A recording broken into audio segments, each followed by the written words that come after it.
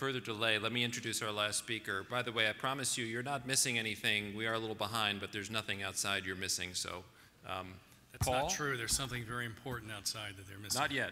Okay, all right. all right. Thanks. It's really a pleasure to be here. I'd like to thank Tim um, and, and Lisa. She hung in there for a while, but I, I got to give her got to give her credit uh, for, for being here. And, and I'm going to be uh, very quick. But what I want to what I want to sort of leave the idea with is, you know, can we harness the, the, the type 2 cell to, uh, to help us treat patients with IPF? Okay, so we know about this disease. This is a terrible disease, basically scarring, but it's such a peculiar form of scarring. This patient I took care of when I was a fellow passed away within about three months of this CAT scan, but look at large areas of this lung are still relatively uninvolved. So you, there's some great studies, Matt Honeyhockey, Ivan Rosas, um, David Lederer, looking at early reticulation in patients that have other diseases. Where I practice in, uh, in Cedar Sinai Hospital, it sits at the edge of Beverly Hills and West Hollywood, we have another approach. Every time you sneeze, you get a CAT scan. So this is what we start to see here. We see these very early changes, and you know, what do we you know, what do we do with this? We have no idea. This early reticulation, no honeycomb changes. But if you biopsy this, what do you see? So you see some established scar, you see what appears to be fairly normal um, looking interstices, and then in between you have sort of the holy grail. We, you have the, uh, the overlying epithelium, and this thing almost looks like a little tumor. So the questions are, what on the, uh, on the epithelial side, what on the mesenchymal side? So in the next sort of 12 minutes, I'm going to show you some, some data from our lab and, and try to get you to think about this idea that can we harness the ability of the alveolar type 2 cell to renew itself in much about the ideas you've heard from previous speakers. Can we harness that to try to, to come up with an approach for, for IPF? Because it can happen quickly. This is a patient of mine who over three months developed rapidly scarring, needed to go on to get a lung transplant. But is all fibrosis the same? This is a patient of mine, awful looking fibrosis. A lot of traction bronchiectasis here, young woman, scarring, very, very homogeneous, very, very pink. Boom, cured with immunosuppressive therapy. So some established fibrosis can go away. We just haven't been able to get there with IPF. So this is what the lung looks like when you take it out at the time of transplant. This is a really, you're not gonna, you're not gonna um, regenerate this.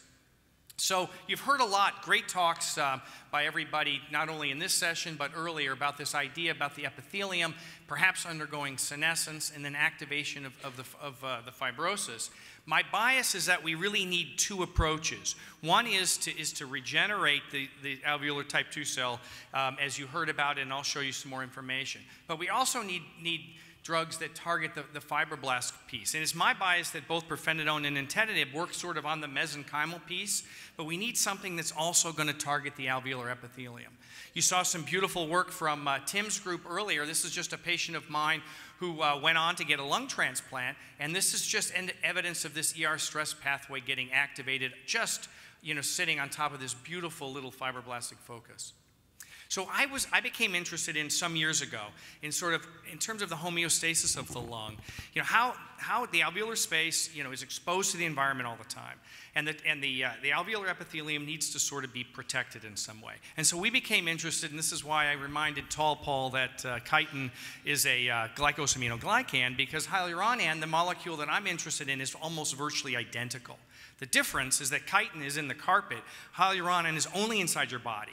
And if you actually can't make it, if it's genetically deleted in a mouse, you can't develop a heart.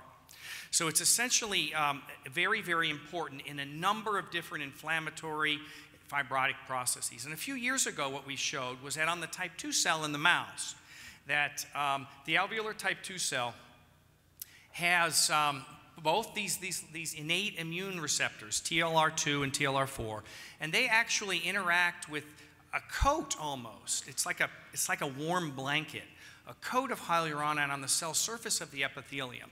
And what this we showed some, some years ago now, what this was protective of an acute lung injury.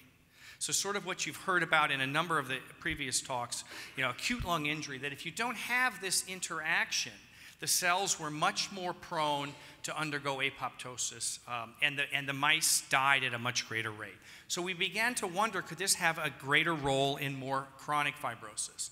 So, what you, you heard, I'm not going to be nearly as elegant as Tushar, but beautiful data on what normally uh, regulates normal type 2 cell renewal. But why do, why do these type 2 cells have this glycosaminoglycan on the surface? And why do they have an innate immune ligand? TLR4 is thought to generally help us fight off infections. Why does an epithelial cell have this? What are the signals generates? What are the consequences? And most importantly, does this have anything to do with IPF? Okay, so one of the one of the the, um, the good fortunes I've had over the years, because because I've been at a bunch of different places, I've had great colleagues, and Barry Stripp really pioneered this ability to go into the lungs of the mouse and purify type two cells, and we've been able to, to correlate that what he's his his um, this flow sorting strategy based on these markers here that if you actually do it from the stand, also do it with a lineage label that we are actually able to purify from the mouse type 2 cells without culturing them so, flow sorting them. They don't have to see plastic where all sorts of bad things happen. So, this is how we take out these cells in the mouse. The other piece of data you need to know is after the Bleo model, the type 2 cells, this is just a simple physiologic time course. The type 2 cells are depleted and they re regenerate.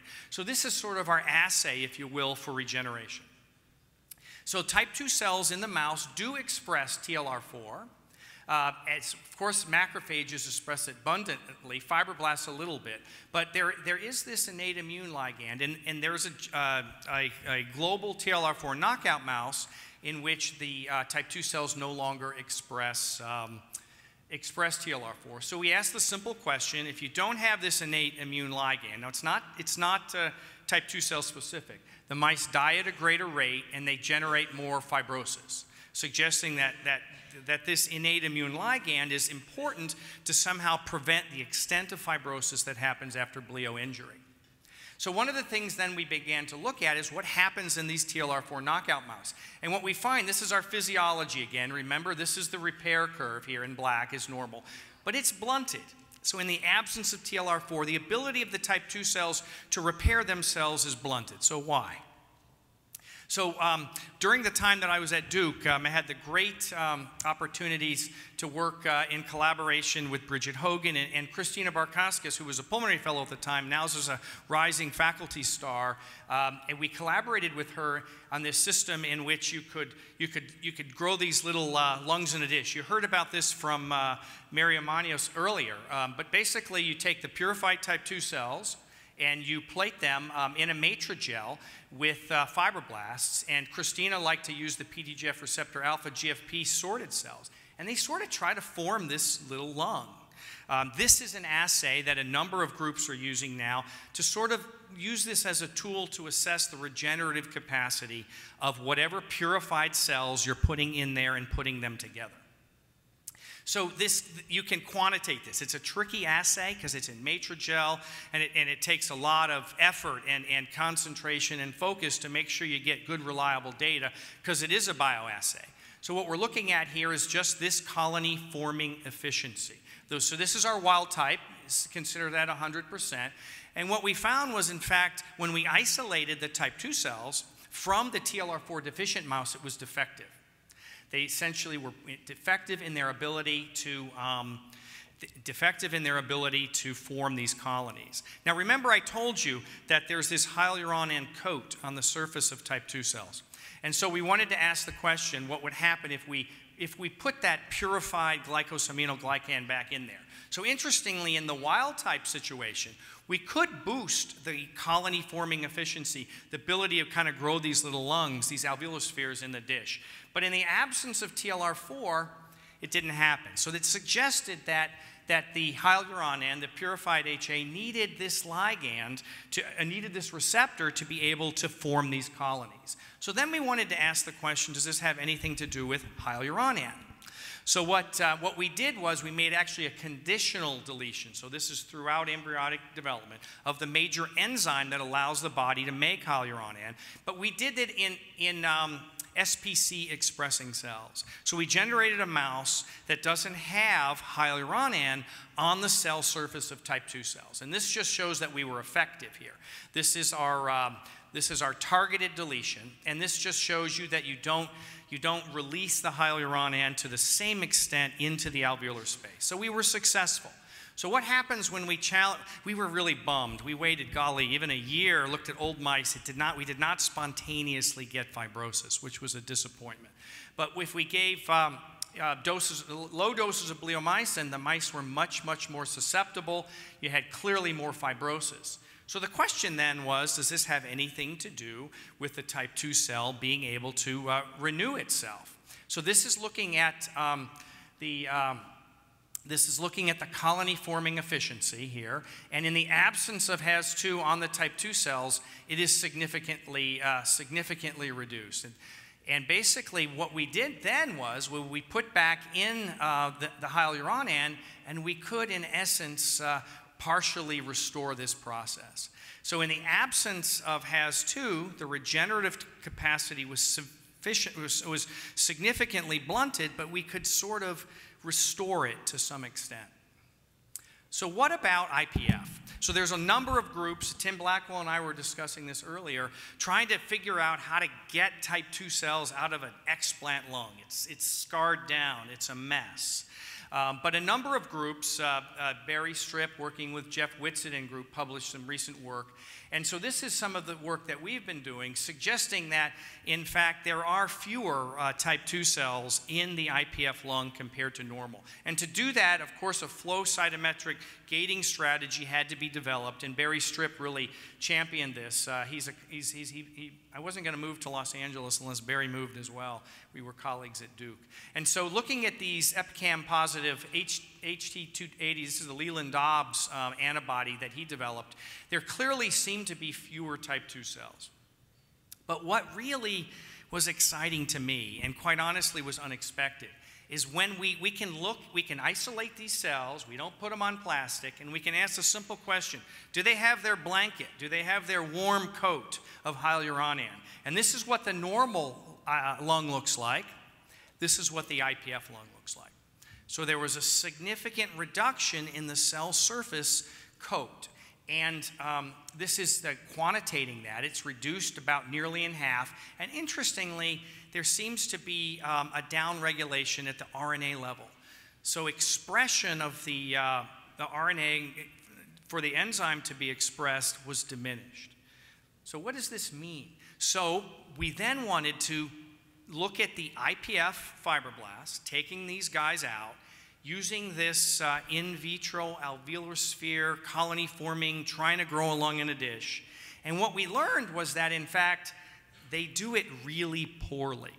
So you saw the beautiful data when Mary Armanios showed that she targeted the telomerase pathway in type 2 cells, and you, you saw that those cells didn't express colonies very well at all. But that's what we're seeing in IPF now, is that the ability to form the colonies is impaired. So the question I have is if we can figure out how to restore this function, regardless of which of the genetic mutations get there, is this kind of, if you will, the holy grail? Can we, can we show that if we do this in vitro, would that translate um, into restoring the ability of the alveolar epithelium in vivo in patients? That's the holy grail for that.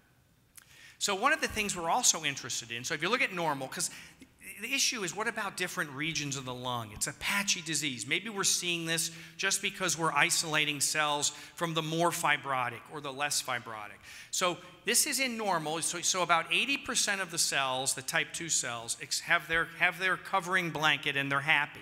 But interestingly, about 20% don't. And that is kind of reversed, if you will, in IPF. But what's interesting, even in the normal type 2 cell, if you don't have hyaluronan on the cell surface, you're deficient uh, in your ability to form these colonies, suggesting that this might be part of a homeostatic mechanism for proper renewal. And then, of course, what we wanted to know is could we restore this in vitro? And we have, we have to give a lot more than we gave in the mouse type 2 cells that were deficient in HAS2. But we could partially augment the ability of these human type 2 cells to try to form this lung. And so one of the other things I, I, I, did mention, we wanted to look at different areas of the lung, and it didn't matter whether or not it was a less severe or a more severe. We saw the same diminution in the um, cell surface HA, suggesting that this might be a component uh, of the phenotype that leads to the impaired type 2 cell uh, renewal abilities in IPF. So this was an editorial, and in addition, just in, in, in interest of time, I left this piece out. But because one of the questions is if we can do this in vitro, can we translate it into in vivo? And in the mouse, we could. So the other, we did a, we searched for, for um, genes that were not expressed either in the absence of TLR4 or the absence of HAS2. And one of them that came up was IL-6. IL-6 is really potent in gut stem cell renewal. So what we showed in the paper was that if we block the ability to make IL 6 or we put it back in, we could in fact improve the outcomes of survival and fibrosis, suggesting in the mouse that if you can find substances that, that really restore that colony forming ability, could that translate uh, into improved outcomes in pulmonary fibrosis? So, in summary, um, this innate immune receptor and this glycosaminoglycan that's in every part of the body. In the lung, the reason we, we like this idea is because what, what HA looks like, so the cell wall of the streptococcus is, is made up of hyaluronan. And the LPS, not the lipid A moiety, but the polysaccharide side chain is very similar. So our thinking is because the, the lung is exposed to the air, and in the gut, commensal bugs are, are protective against injury. They interact with the key epithelial cells in the gut to be able to promote repair. But in the alveolar space, you can argue about whether there's bugs or not, but I don't think any of us would disagree that the alveolar space is different than the gut. If it's not, we, you're, you're on a ventilator, unfortunately. So basically, the thinking is that this molecule evolved to sort of function like a commensal bacteria to help protect the lung in, under normal homeostatic renewal, but also after injury. And the loss of this enzyme in type 2 cells results in impaired regenerative capacity in the mouse, exacerbated fibrosis. So the question, and one of the things we're interested in, is trying to use this as a model system to find drugs that might augment this process. But even though I've spent a lot of time killing mice over the last two decades, I do fundamentally believe that the key, the cure, we really want to focus on a cure for IPF. We have drugs that clearly are effective in slowing the process, but to get a cure, I think we really have to focus um, you know, on, on the patients and the materials that we can, can get, particularly at the time of lung transplant. So I will stop there. This, uh, this is the, a schematic of the Advanced Health Sciences Pavilion uh, at Cedars-Sinai Medical uh, Center. The Lung Institute is, uh, is on the top floor right next to the Barbara Streisand Heart Center. Pisses me off.